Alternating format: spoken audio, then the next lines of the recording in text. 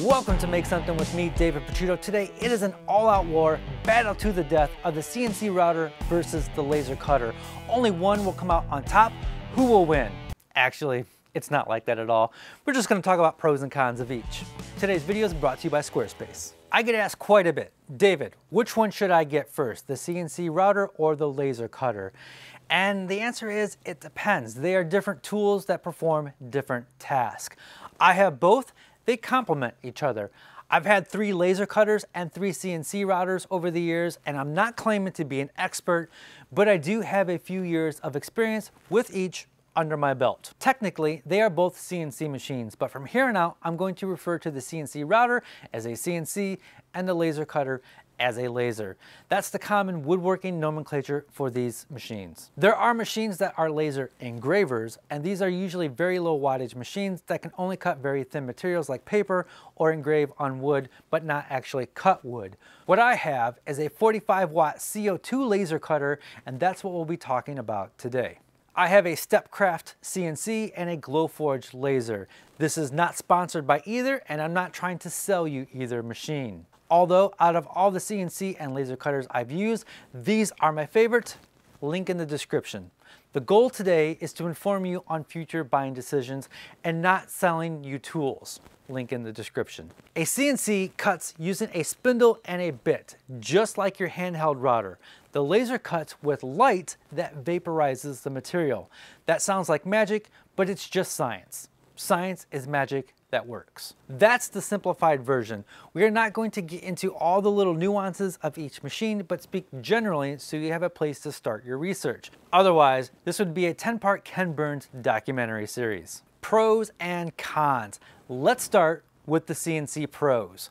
You can get different bits for different types of cuts pocketing, engraving, 3D routing, roundovers, fillet of fishes, holes, chamfers, and so much more. This is a huge advantage over the laser. Sadly, the laser just has one laser and that's it. This is also a con because it can get very confusing and very expensive very fast. Each bit will require its own feed rate, depth per cut, plunge rate, spindle speeds, and that will vary depending on the material you're cutting. I get all of my bits from Tools Today, hashtag not sponsored, and they have all the feeds and speeds on their website. Someday, I need to create a binder with all of my bits and the recommended rates. Someday. If you know of an iPhone app that allows me to keep a library of my bits, please let me know. If this doesn't exist, why? Stepcraft, Amana Tools, Tools Today, somebody make an app where I can have a library of my bits with the recommended speeds please. I will say 80% of what I do is done with a quarter inch spiral plunge bit, 10% with a 1 8 inch spiral plunge bit, and 15% other. That's going to be different for each person. A sign maker will need a variety of bits. Someone doing 3D sculptures is going to need roughing bits and various finishing bits and so on. Another pro, the CNC can cut much deeper than the laser. The limitation is the z-axis and the length of your bit. Something a CNC can do that a laser can't is 3D carving. I know someone out there is going to tell me, well, actually, stop it. I made this wooden ashtray with the CNC, something the laser can't do. And you could get way more complicated than this. You could technically carve a 3D wiener dog face with the CNC. Try doing that on a laser. Another huge advantage of the CNC over the laser is the different attachments. This Stepcraft has the option of getting a low powered laser engraver, a tang tan tangential knife. It's a knife that does this, a drag knife, 3D printer head, and pen plotter. There's probably even more, but I got tired of looking. All right, CNC cons. Clamping your material can be very tricky. There are multiple ways. The one I use the most is a composite nailer.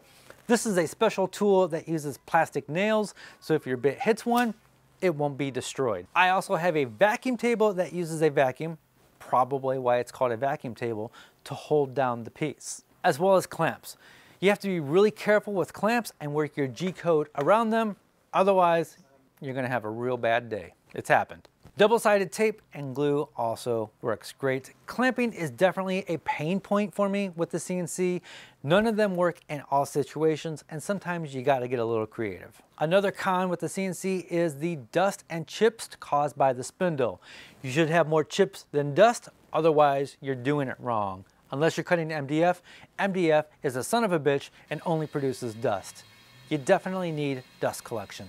Bits wear out and get dull, especially if you use the wrong speeds. Also, bits break, especially if you use the wrong speeds. Software for the CNC can be overwhelming for noobs. I typically draw my vectors in Adobe Illustrator and use VCarve Pro for layout and G-code and then import that into UC CNC. There's definitely a learning curve with this. The CNC is not so great for really thin materials like veneers, which the laser cutter excels at. And of course, I'm sure there are plenty of workarounds, but this is one of the many reasons I like having both machines. The CNC can get pretty loud. You probably already know how loud a router can get. Now add dust extraction and a vacuum table and it's as loud and as annoying as a Bon Jovi concert. Now let's talk about the Laser Pros. For the most part, there's no clamping. You just throw your material in there, you close the lid, and you cut. The exception is lightweight materials like paper and veneers. There's a lot of airflow inside the laser that can cause the paper to move around. I just use magnets to clamp it down to the base. There's no dust and waste. The kerf made by the laser is very thin where the CNC creates a lot of dust and waste depending on the bit size. For cutting 1 8 inch or thinner material, the laser is really fast. The cutting speeds between the two machines are about the same, but the time it takes for setting up and clamping or lack of clamping is much quicker on the laser. There are no confusing bit changes or selection. Whatever laser you have is the laser you got. This simplifies the use and speeds up the setup. In my experience, the laser is easier to learn. The cloud-based software is more user-friendly and there are not as many feed and power rate variables compared to the feed and speed rates of a CNC. The laser excels at thin materials like wood, veneers, paper, cardboard, leather, and acrylic. Not saying you can't do that on the CNC, but it's much easier on the laser. Laser cons. The laser leaves burnt edges that need to be sanded.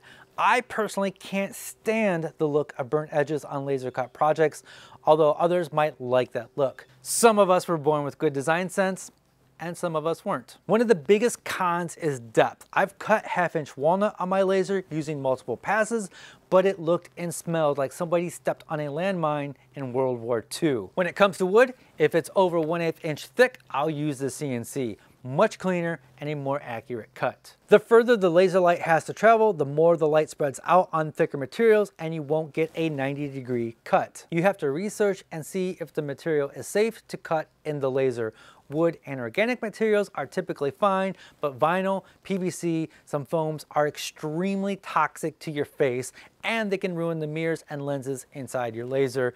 You gotta do your research. You got to. A laser cutter must be ventilated, either outside like mine or with an air filter, which is like another $1,000. This is for two reasons. One, you shouldn't be breathing in the fumes and the dirty air, and two, the air needs to be pulled out of the laser so it doesn't ruin the machine. Some materials smell pretty bad when cutting with the laser. Even with proper ventilation, leather smells like my uncle's sweaty crotch and acrylic smells like cancer. If you think I'm joking, you can go ahead and smell Uncle Joey's crotch yourself. Lasers can't do 3D carving like a CNC. Many of the desktop laser cutters these days use cloud-based software, which is really easy to use, but sometimes painfully slow. I've never had the Glowforge Cloud fail on me, but I have had to wait a good 5 to 10 minutes for the software to communicate to the machine. It's rare, but it happens, and it's frustrating. Tube replacement. CO2 lasers come with a glass fallopian tube that has a short lifespan. I've had my Glowforge for over four years and I haven't had to replace the tube yet. It's still cutting just fine, but it looks like it's going to cost around $500 when it's time. That includes round trip shipping of the machine, which sounds like a huge pain. When this day comes, I probably won't be a happy camper. Before I give my final thoughts and talk about which machine I use more, I'd like to tell you about today's sponsor, and that is Squarespace. We are talking about CNCs and lasers. If you have these machines or you're thinking about getting one of these machines, that means you can batch out a whole bunch of projects really fast. And if you're batching out a whole bunch of projects, then you're probably thinking about selling those projects. That means you need a website. That's where Squarespace comes in. I'm not going to sell online, I'm going to sell at craft shows. Well, did you know that you can use Squarespace to take payments in person? It's true. Squarespace will keep track of your inventory whether you're selling online or in person. You can have variables of each product. For example, you could sell t-shirts and have multiple colors with the same print all on the same page. Not only can you sell physical items, but you can also sell digital items. Write an ebook and sell it direct on your website. Check out my Squarespace site, makesomething.com, and you'll see that I'm selling physical items as well as PDF plans. If you're a maker like me, you gotta have a website. It's a central location to host a gallery of your work, sell your work, and you can even bring in feeds from your social media sites. So visit squarespace.com and when you're ready to launch, visit squarespace.com slash make something for 10% off your first purchase of a website or domain.